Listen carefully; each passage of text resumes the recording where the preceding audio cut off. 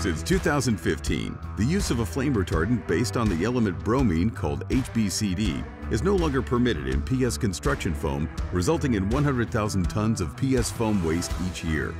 To keep the valuable resource polystyrene in the loop to produce new products, the HBCD needs to be safely removed. That's where polystyrene loop comes in. The Polystyrene Cooperative is a non-profit organization with more than 70 members and supporters representing the complete polystyrene value chain. The Polystyrene Loop Cooperative is set up to demonstrate the technical and economical feasibility of a large-scale demo plant of more than 3,000 metric tons per year. It's a closed-loop solution for the recycling of polystyrene foam containing HBCD and the recovery of bromine.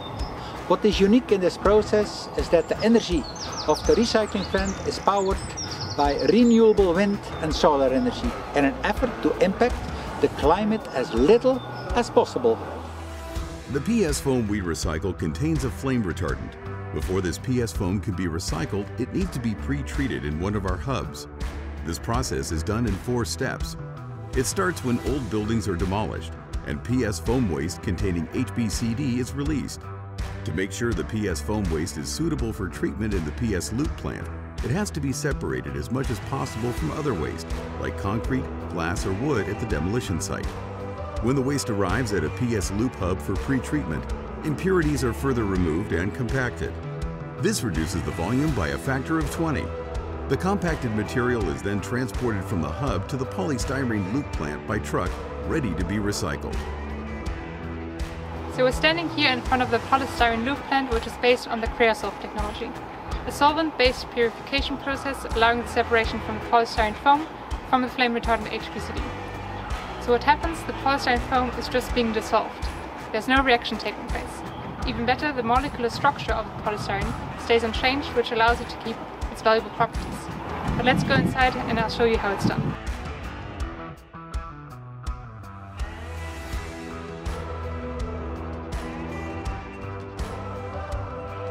So we're now standing inside of the polystyrene plant.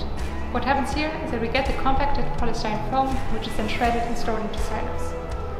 From there, it goes to the first dissolution vessel, where we add the polystyrene foam, which allows us to filter out any impurities and create the polystyrene gel.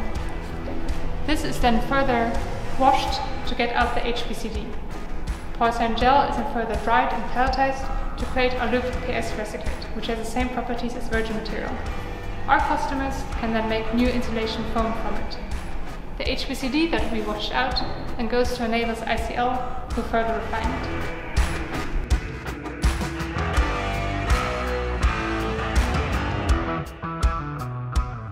ICL EP is a bromine plant located in Terneuzen.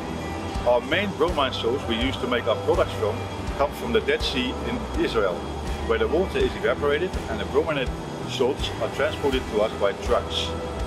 Bromine import is not the only source we use. We also recycle contaminated bromine from other companies. Polystyrene Loop is one of the companies we recycle the bromine from.